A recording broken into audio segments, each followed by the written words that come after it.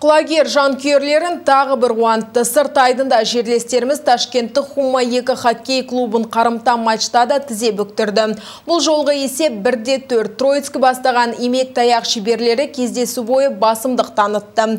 Есептің ойынның 6 минутында Алексей Данилов ашты. Екінші периодта да құлагерліктерге сәттілік серік болып Марк Вакуленко мен Денис Тасюк ерекшеленді. Өзбекстандықтар әуелде есеп айырмасын қысқартқан болатын, бірақ кейін қақпаға шайба дарт алмады. Матч соңында бірер секунд қалғанда құлагерлік шабуылшы Евгений Папитич ерекшеленіп, таблодағы есепті бірде төртке жеткізді.